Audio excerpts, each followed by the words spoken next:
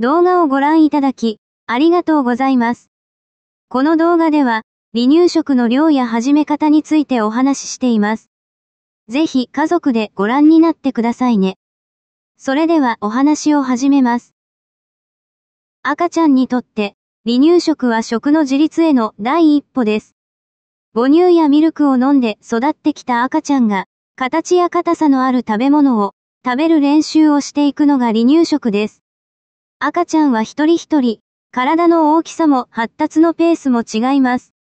よって、離乳食の進み方も赤ちゃんによって個人差があるのです。焦らず、その子のペースで進めることが重要です。何より大事なことは、保護者がゆとりを持って、笑顔で離乳食をあげることです。楽しい雰囲気で食べる楽しさを体験させてあげてくださいね。離乳食の味付けについて、5から6ヶ月の頃は、必要ありません。素材の味を味合わせることを意識しましょう。今は味の記憶をたくさん作っていく時期なので、少しずついろんな食材を与えてください。味付けの基本はだしです。まずは、昆布だしから始めましょう。7から8ヶ月頃になったら、醤油や砂糖、味噌、塩などを、大人の10から20%くらいの濃さを目安に味付けとして使っても良いでしょう。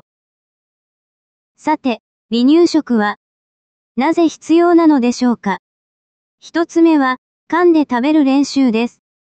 実は、離乳食のメインと言っても過言ではありません。後ほどお話ししますが、赤ちゃんの口の発達に合わせて、離乳食の形態を変えていきます。大切なのは、栄養素だけではないんです。二つ目は、いろいろな味を体験し、味覚を育てるためです。大人は多くの種類の食べ物を食べたり、見聞きしたことがあるので、多くの食べ物に対する美味しい記憶がたくさんあります。しかし、赤ちゃんにとっては、初めて食べるものばかりなので、当然警戒します。これは、本能的に当たり前のことです。親が美味しそうに食べている姿を見たり、楽しい雰囲気で離乳食を食べたり、褒められたりすることで、その食べ物は美味しいものなんだ、と記憶します。離乳食の時期から、たくさんの美味しい味の記憶を作ることが大切です。三つ目は、母乳、ミルクだけでは栄養不足になるからです。母乳は、月齢が進むごとに、栄養が減っていきます。つまり、食べ物で栄養を補う必要が出てくるのです。では、いよいよ離乳食の準備が必要かな？のサインです。授乳のリズムが整ってきた。指をしゃぶっている。おもちゃを舐めている。これらが目安です。特に、指やおもちゃを舐めるのは、食べ物を口の中に入れる練習でもあります。口の中に入れることにより、危害を及ぼすものでなければ、赤ちゃんの行動をむやみに制限しないようにしましょう。次に、そろそろ開始かな？のサインです。大人が食べる様子を興味を持って見ている。支えがあれば座っていられる。スプーンに口を当ててみても嫌がらない。よだれの量が増えた。これらの目安のうち、特によだれの量については、食べ物を飲み込むときに必要な唾液が作られるようになってきたサインです。よだれが出るのは、まだ口の中で唾液をうまく飲み込めないからです。適宜、よだれかけなどを使用してあげましょう。こちらは、離乳食の進め方目安表です。最初から、大人と同じように3回は食べられないので、最初は1回からです。そして、生後7から8ヶ月で2回、生後9から11ヶ月で3回、1歳から1歳半頃には、離乳食の完了ができるように、進めます。はじめは、与える時間を授乳のリズムに合わせましょう。最初は午前中がおすすめです。母乳、ミルクについて。離乳食後は、母乳、ミルクをしっかり与えましょう。母乳は赤ちゃんが欲しがるだけ与えて良いです。ミルクは赤ちゃんによって飲む量が異なりますが、目安としては、5から6ヶ月では1日 950ml、7から8ヶ月では 800ml、9から11ヶ月では 600ml です。離乳食が進み、しっかり食べられるようになると、食後のミルクの量はだんだん減ってきます。12ヶ月からは 400ml が目安ですが、1歳を過ぎたら牛乳に変えても OK です。赤ちゃんの舌の動きについて説明します。月齢が進むにつれて、だんだんできるようになることが増えます。表に記載されている月齢はあくまでも目安なので、月齢にとらわれず、お子さんに合った硬さや大きさの食べ物を与えることが大事です。今までは自らの意思ではなく、反射機能により、母乳やミルクを飲んでいましたが、離乳食では、自分の意思で咀嚼、飲み込みをします。はじめは、飲み込むこともできない赤ちゃんが多いですが、大丈夫です。それでは、表を見ていきましょう。5から6ヶ月の頃は、舌を前後に動かし、飲み込む練習をする時期です。母乳やミルク以外の食べ物になれ、飲み込むことが目標なので、滑らかにすりつぶした状態、ヨーグルトくらいの硬さがちょうど良いです。7から8ヶ月の頃は、舌を上下に動かし、舌を上顎につけて潰す練習の時期です。口は一文字の形になります。舌で潰せる硬さ、豆腐くらいの硬さがちょうど良いです。9から11ヶ月は、舌を左右に動かし、歯茎の上に乗せて押しつぶす練習の時期です。ほっぺがもぐもぐ動きます。薄切りの完熟バナナくらいの硬さがちょうど良いです。12ヶ月からは、歯茎で噛める硬さ、肉団子やおでんの大根くらいの硬さがちょうど良いです。ちなみに、大人と同じように噛めるようになるのは、3から4歳頃です。お子さんの口の発達に合った硬さの食べ物を与えることで、顎にも良い刺激になります。量と進め方について。先ほど説明した通り、最初は1日1回です。袋井市のホームページで進め方の目安表を掲載しています。無料でダウンロードできますので、ご活用ください。また、初めて与える食べ物は、消化が良く、体への負担が少ない、10倍が湯から始めましょう。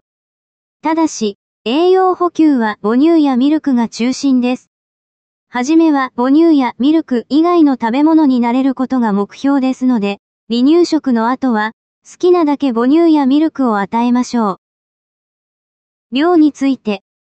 こちらについても、資料を袋井市のホームページで掲載していますので、詳細を知りたい方は、ぜひ一度ご覧ください。離乳食は、いろいろな食材になれる時期です。ただし、食品には与える順序があります。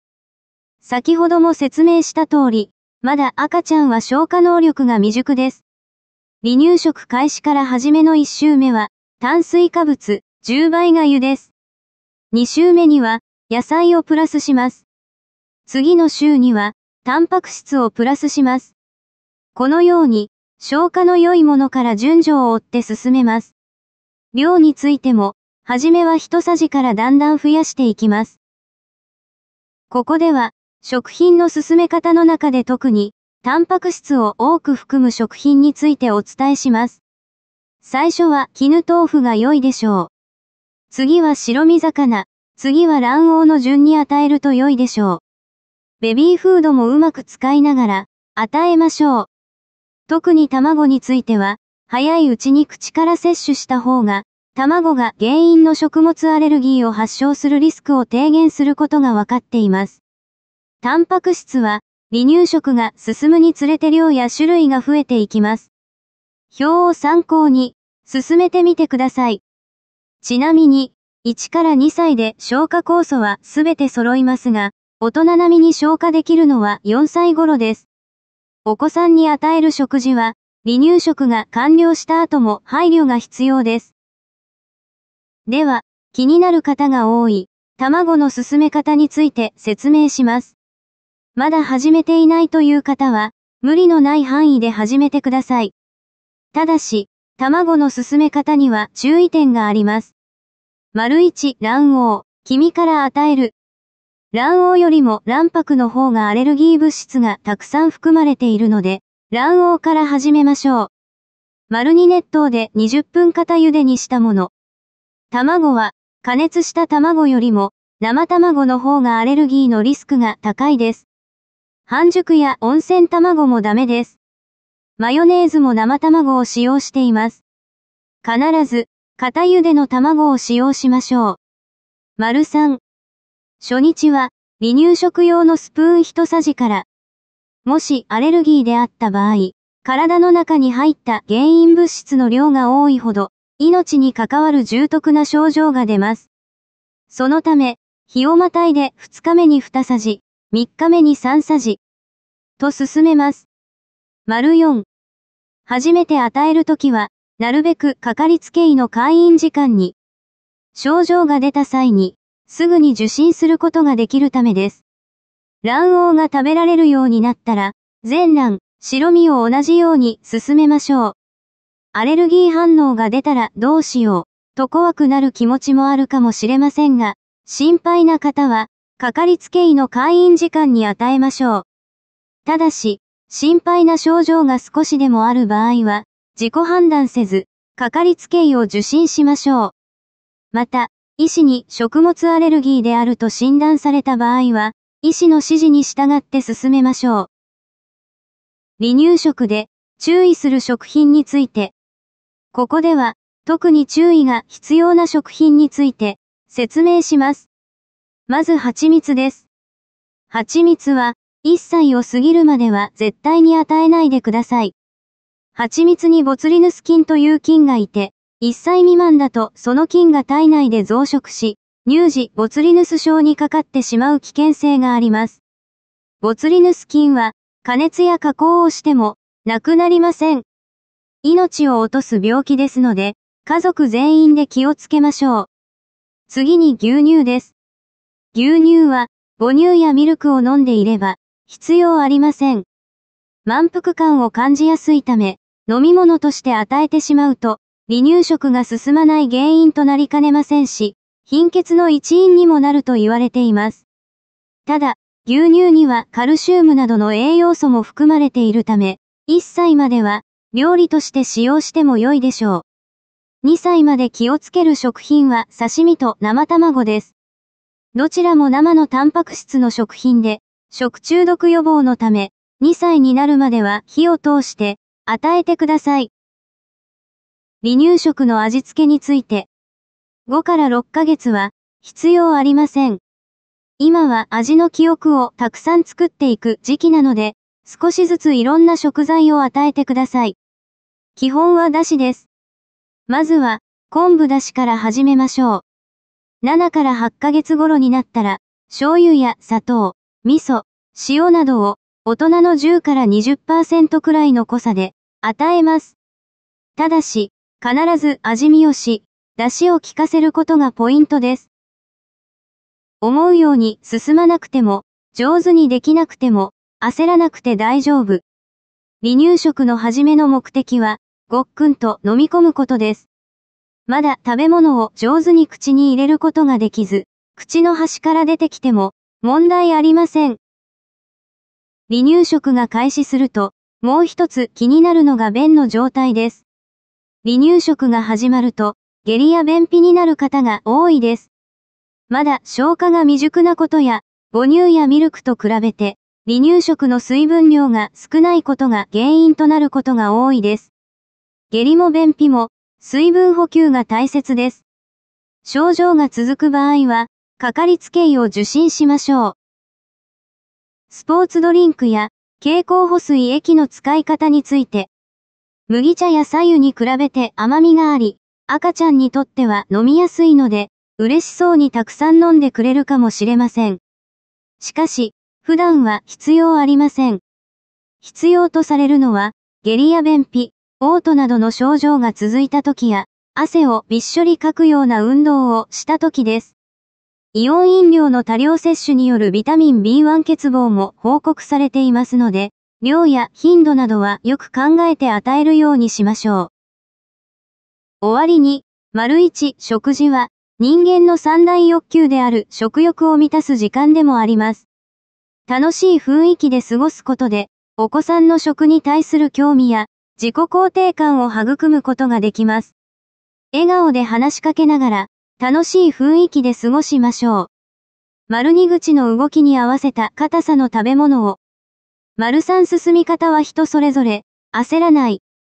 丸四母乳、ミルクは食事量に合わせて減量を。丸五食事に集中できる環境づくりをしましょう。最後までご覧いただきありがとうございました。この動画をより良いものにするため、1分で終わるアンケートの回答をお願いいたします。